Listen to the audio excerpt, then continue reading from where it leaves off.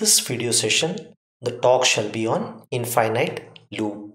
Infinite loop are loops which never stop executing because the result of the boolean expression happens to be non-zero or always happens to be true in the while for or the do while loop. So suppose I write while and I put 1 here. What happens is in C, any non-zero number is always true. So since this indicates always true, whatever is the instructions in this particular body are going to execute endlessly because of this condition 1. So in C, an expression is any simple assignment a value of a constant or a value of a variable declared in a parenthesis like this. Since 1 is a constant, it is never going to change from 1 to any other value. Thereby, this body of the loop is going to execute forever. Similarly, in the for loop, what I have done is I have not done any initialization, not, not done any increment or decrement. I have put a constant i, sorry, I have put a constant 1 where the value or where the test condition exists. Since this 1 represents an expression or a boolean expression which is always true, this body of the loop is always going to execute forever. It is never going to stop. So this is again an example of an endless loop. The next statement I do have is I have a short piece of code. In this short piece of code, what I am doing is I have declared a short signed integer by the name i. On my machine, the size of a short int happens to be 2 bytes, which is generally the case on most of the machines you are going to use with a very few exceptions.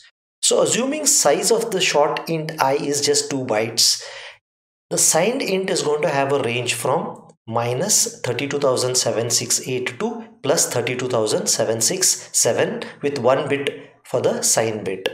Now since what I'm doing here is I'm representing or I'm initializing i to 32767. As long as i is not equal to 32768, it is going to print the value of i. Now this value of i represents the maximum range of a positive integer in 2 bytes signed short int. So what I'll do is once this is 32,767 it will compare come here and compare. Once it compares it finds that this is not equal to so it will print 32,767 now next step is I'm trying to increase the value of i by 1 but when I try to increase the value of i by 1, 32,767, since it has reached its positive limit, it is going to increase and go to the negative side. So i will now be equal to minus 32,768. Since minus 32,768 is not equal to plus 32,768, this particular value 32,706 minus 8 sorry minus 32,768 is going to get printed.